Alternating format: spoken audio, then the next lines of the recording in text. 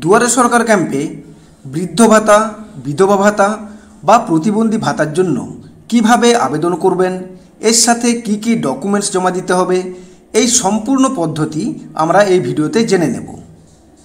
বৃদ্ধ ভাতা, বিধবা ভাতা বা প্রতিবন্ধী ভাতা, এই তিনটে ভাতার ক্ষেত্রেই একটাই ফর্ম দেওয়া হয়। এই ফর্মটার নাম হচ্ছে ফর্ম পি। এই ফর্মটা আপনারা দুয়ারে সরকার ক্যাম্প থেকে পেয়ে যাবেন। আবেদনকারীর অরিজিনাল আধার কার্ডটা ক্যাম্পে নিয়ে যাবেন, সেটা দেখলেই তারা এই ফর্মটা দিয়ে দেবে। এক্ষেত্রে আবেদনকারী যদি ক্যাম্পে যেতে না পারেন, তার বাড়ির যে কোনো সদস্য আবেদনকারীর আধার কার্ডটা নিয়ে গেলেই ক্যাম্প থেকে এই ফর্মটা দিয়ে দেবে চলুন এবার দেখে নিই কীভাবে এই ফর্মটা ফিল করবেন। প্রথমেই দেখুন, এখানে আছে অ্যাকনোলজমেন্ট নাম্বার এই জায়গাটা ফাঁকা রেখে দেবেন, এটা আপনাদের ফিল করার দরকার নেই। এখানে আবেদনকারীর একটা রঙিন পাসপোর্ট সাইজের ছবি লাগিয়ে দেবেন। এরপর আছে পেনশন কেস। যারা নতুন পেনশনের জন্য আবেদন করতে চাইছেন, তারা এই বক্সটাতে টিক দেবেন, নিউ। এরপর টাইপ অফ পেনশন। আপনি কি ধরনের পেনশনের জন্য আবেদন করতে চাইছেন? বৃদ্ধ ভাতার জন্য আবেদন করতে চাইলে এই বক্সটাতে টিক দেবেন। প্রতিবন্ধী ভাতার জন্য আবেদন করতে চাইলে ডিসঅ্যাবিলিটি এই বক্সটাতে টিক দেবেন। বিধবা ভাতার জন্য আবেদন করতে চাইলে উইডো এই বক্সটাতে টিক দেবেন।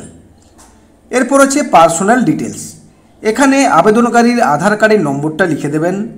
আবেদনকারীর ভোটার কার্ডের নম্বরটা এই বক্সে লিখে দেবেন।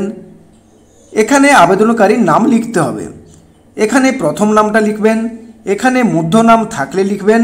এখানে পদবি লিখে দেবেন। এই নামটা লিখবেন ব্যাংক পাসবুক অনুযায়ী। ব্যাংক পাসবইয়ে নামের যা বানান হুবহু একই বানান এখানে লিখবেন। এরপর আছে জেন্ডার পুরুষ হলে এই বক্সটাতে টিক দেবেন, মহিলা হলে এই বক্সটাতে টিক দেবেন, অন্যান্য হলে এই বক্সটাতে টিক দেবেন। এরপর আছে জন্ম তারিখ। এখানে আবেদনকারীর জন্ম তারিখটা দিতে হবে। প্রথম দুটো ঘরে দিন, তারপরে দুটো ঘরে মাস, তারপরে চারটে ঘরে বছর। এটা দিয়ে দেবেন। এরপর আবেদনকারীর বাবার নাম। এখানে বাবার প্রথম নামটা লিখবেন এখানে মধ্য নাম থাকলে লিখবেন, এখানে পদবিটা লিখে দেবেন। এরপর মায়ের নাম। একইভাবে এখানে মায়ের প্রথম নাম, এখানে মধ্য নাম থাকলে লিখবেন, এখানে পদবিটা লিখে দেবেন। এরপর আবেদনকারী কোন ধর্মের? হিন্দু হলে এখানে টিক দেবেন, ইসলাম ধর্মের হলে এখানে টিক দেবেন, খ্রিস্টান ধর্মের হলে এখানে টিক দেবেন, অন্যান্য কোনো ধর্মের অন্তর্গত হলে আদার্স অপশনটাতে টিক দেবেন। এরপর দেখুন, কাস্ট। আবেদনকারী কোন কাস্টের অন্তর্গত? এসসি হলে এই বক্সটাতে টিক দেবেন এসটি হলে এখানে টিক দেবেন ওবিসি হলে এখানে টিক দেবেন জেনারেল হলে এই বক্সটাতে টিক দেবেন।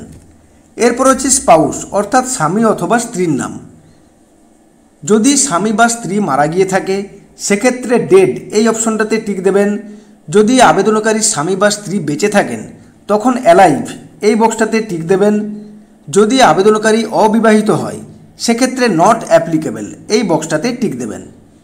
আবেদনকারী বিবাহিত হলে সেক্ষেত্রে তার স্বামীর নাম বা স্ত্রীর নামটা লিখতে হবে। এখানে স্বামী বা স্ত্রীর প্রথম নামটা লিখবেন, এখানে মধ্য নাম লিখবেন, এখানে পদবিটা লিখে দেবেন। এরপর হচ্ছে মান্থলি ইনকাম এখানে আবেদনকারীর মান্থলি ইনকাম কত বা মাসিক আয় কত সেটা এই ঘরে লিখতে হবে। এক্ষেত্রে জেনে রাখুন, আবেদনকারীর মাসিক আয় হতে হবে এক হাজার টাকার মধ্যে। যদি আবেদনকারীর মাসিক আয় এক হাজার টাকার বেশি হয়ে থাকে, সেক্ষেত্রে তিনি কিন্তু বৃদ্ধ ভাতা, বিধবা ভাতা বা প্রতিবন্ধী ভাতা কোনো ভাতার টাকাই পাবেন না। এরপর আছে কন্ট্যাক্ট ডিটেলস এখানে আবেদনকারীর কন্ট্যাক্ট ডিটেলসটা ফিল আপ করতে হবে। প্রথমে কি আছে? হাউস বা প্রিমিস নাম্বার এটা লিখে দেবেন। এরপর গ্রাম বা শহরের নামটা এখানে লিখে দেবেন। এখানে গ্রাম পঞ্চায়েতের নাম বা ওয়ার্ড নম্বরটা লিখবেন। এখানে ব্লকের নাম বা মিউনিসিপ্যালিটির নামটা লিখে দেবেন। এখানে থানার নামটা লিখবেন, এখানে পোস্ট অফিসের নামটা লিখে দেবেন, এখানে সাব ডিভিশনের নামটা লিখে দেবেন, এখানে জেলার নামটা লিখবেন, এখানে পিনকোড দেবেন, রাজ্যের নামটা এখানে ফিল আপ করাই আছে, এখানে আবেদনকারীর একটা মোবাইল নম্বর দিয়ে দেবেন, ল্যান্ডলাইন নম্বর থাকলে এই বক্সে দেবেন, আবেদনকারীর যদি কোনো ইমেল আইডি থেকে থাকে, সেক্ষেত্রে ইমেল আইডিটা এখানে দিয়ে দেবেন। ফর্ম ফিল সময় একটা জিনিস মনে রাখবেন, ফর্মটা ফিল করবেন ইংরাজি ক্যাপিটাল লেটারে।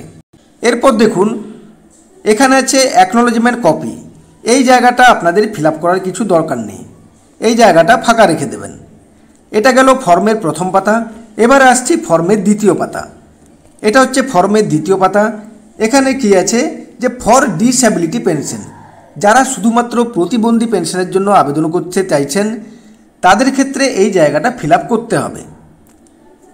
টাইপ অফ ডিসএবিলিটি কি?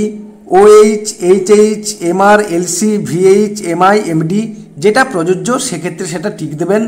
পার্সেন্টেজ অফ ডিসেবিলিটি কত আছে সেটা এখানে লিখে দেবেন। ডিসএবিলিটি সার্টিফিকেটটা কে ইস্যু করেছে ইস্যুইং অথরিটির নামটা এখানে লিখে দেবেন। এটা শুধুমাত্র যারা প্রতিবন্ধী পেনশনের জন্য আবেদন করতে চাইছেন, তাদের জন্য বৃদ্ধ ভাতা বা বিধবা ভাতার জন্য এটা ফিল করার দরকার নেই। এবার আসছি ব্যাংক অ্যাকাউন্টের ডিটেলস প্রথমে ব্যাংকের নামটা এখানে লিখে দেবেন। এখানে ব্যাংকের শাখার নাম লিখে দেবেন, এখানে ব্যাংকের অ্যাকাউন্ট নম্বরটা লিখে দেবেন, এখানে ব্যাংকের আইএফএসসি কোডটা লিখে দেবেন। অনেক ব্যাংকের আইএফএসসি কোড চেঞ্জ হয়েছে, এক্ষেত্রে আপনারা আগে ব্যাংক থেকে জেনে নেবেন যে নতুন আইএফএসসি কোড কি, তারপর জেনে এটা ফিল করবেন। এরপর দেখুন, এই ফর্মটা ফিল করার পর এর সাথে আপনাকে কি কি ডকুমেন্টস জমা দিতে হবে। যা যা ডকুমেন্টস জমা দেবেন প্রত্যেকটা জেরক্সের উপরে আবেদনকারীকে একটা সই করতে হবে। সই করতে না পারলে সেক্ষেত্রে টিপ সই দিতে হবে। তো কি কি ডকুমেন্ট লাগছে?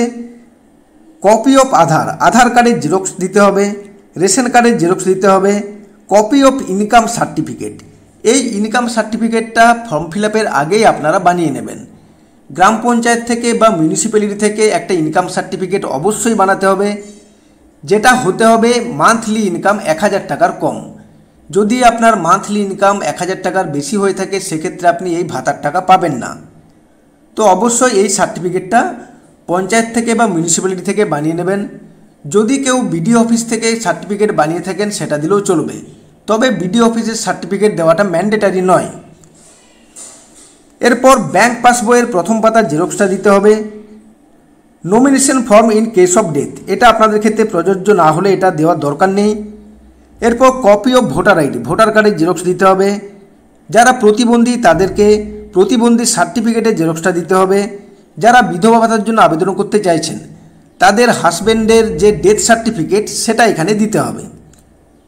এরপর এখানে ডিক্লারেশন আছে। এখানে যিনি আবেদনকারী, তিনি একটা সই করে দেবেন। এই জায়গাটা আছে ফর অফিস ইউজ অনলি এই জায়গাটা আপনাদের ফিল করার দরকার নেই। ক্যাম্পে গিয়ে যখন এই ফর্মটার সাথে সমস্ত ডকুমেন্ট জমা দেবেন, তখন তারা এই জায়গাটা কেটে আপনাকে ফেরত দিয়ে দেবে। ঠিক এভাবেই আপনি বৃদ্ধ ভাতা, বিধবা ভাতা বা প্রতিবন্ধী ভাতার জন্য দুয়ারে সরকার ক্যাম্পে আবেদন করতে পারেন। ধন্যবাদ।